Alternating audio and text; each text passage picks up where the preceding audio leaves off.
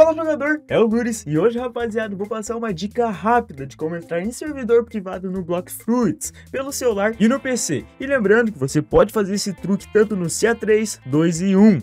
Então parceiro, deixa o likezão e se inscreve no canal porque com o vídeo de hoje você não vai precisar mais criar server privado e gastar aqueles 200 Robux. Então bora lá.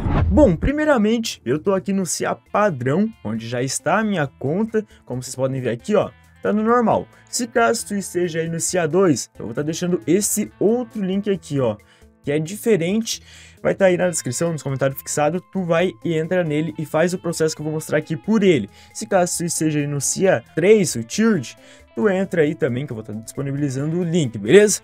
Então, primeiramente, o que tu vai fazer? Entra aí no Blocks Fruits e vai nos servidores. E aqui, rapaziada, vai mostrar vários servidores que estão lotados, estão cheios.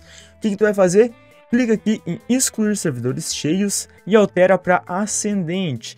E aqui sim vai mostrar vários servidores que estão, 100 pessoas que estão, né, vagos aí. Como tu pode ver, tem um aqui que mostra com zero pessoas, mas provavelmente se tu entrar nesse daqui, vai ir para outra sala que vai estar tá cheio. Então eu não recomendo tu ir nesse aqui, mas se tu querer fazer o teste no teu game, vendo o que dá, o que eu recomendo é tu entrar nesses aqui, ó, que estão vazios, rapaziada, com apenas uma pessoa. E também eu recomendo tu não entrar num que esteja com ping muito alto. Então vou estar escolhendo um aleatório aqui, ó. Esse aqui que está com 31, vamos estar clicando nele, abrindo aqui o Roblox, que eu estou usando aqui uma extensão, mas enfim, você pode estar fazendo isso pelo jogo também.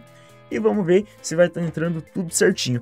E lembrando que apenas uma pessoa não vai te, não vai te atrapalhar ali na tua jogatina, rapaziada. E se começar a entrar um monte, tu simplesmente entra em outro aí, procura. É um pouquinho chato de ficar caçando um que seja vazio? É, mas vale a pena se queira jogar aí e upar no off aí sem ninguém te atrapalhar, beleza, rapaziada? Então valeu!